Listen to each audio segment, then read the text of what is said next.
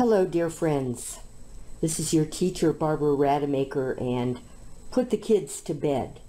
We're about to talk about something very, very scary. Yes, adults only tonight.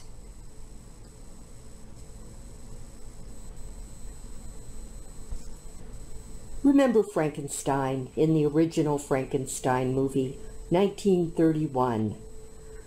Frankenstein is walking through the woods and he discovers a sweet little girl who's so nice. And he throws her in the lake and kills her. Of course, he doesn't mean to. That's part of the tragedy. And then there's the similar and very famous scene from Con Air where the psychopathic killer, right there, is having lunch with a sweet little girl he came upon after he was walking in the woods. What will happen? Well, actually, there's quite a surprise um, event that happens. I recommend the movie. It's cool. No, but we're going to be talking about the evil, the evil zombies. And the zombies, well, at least one zombie, is going to eat the little girl on purpose because that's what zombies do. So here we go. We're going to have, we're going to define, this is called defining, two functions. We're going to let f of x be x squared plus 3x plus 2. And we're going to let g of x be 2x plus 1. And we're going to compose them. Nasty! F is going to come up behind poor little G. Look at that. F is dripping blood. He's a zombie.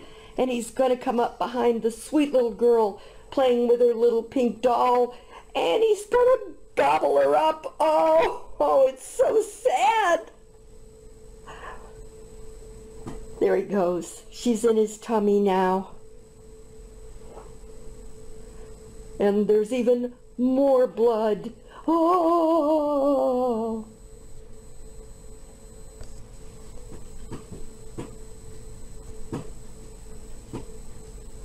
So this is the story of composition of functions. It can be truly scary, but this is what it means.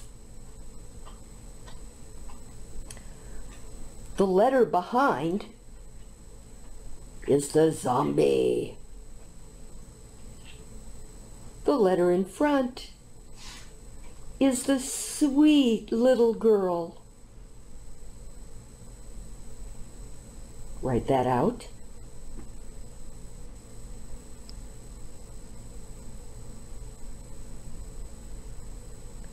And of course there's the pink dolly. It doesn't really have to be pink. And this is what happens. F eats G of X.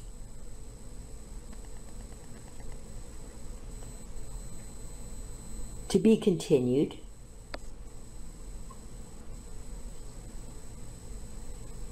Here we go.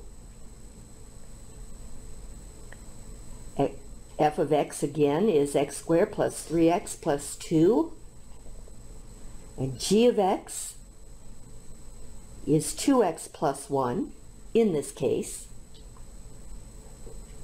And if we take the composition of those two functions, this is what you get. f of g of x. And everywhere there's an x, we're going to put g of x. So that f of g of x equals g of x squared plus 3 times g of x plus 2.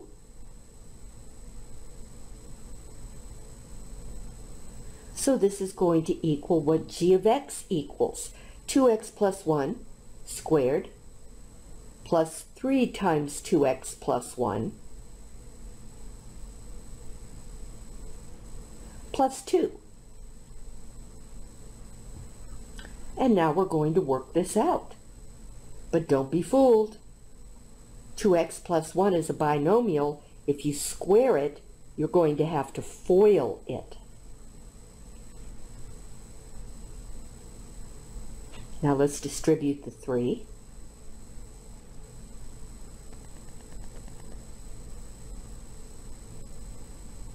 Now we're going to FOIL.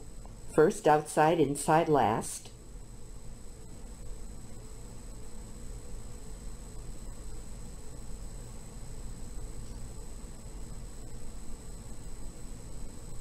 And this 3 plus 2 at the end is 5. So our final answer for f circle g, or f of g, of x is going to be 4x squared plus 10x plus 6.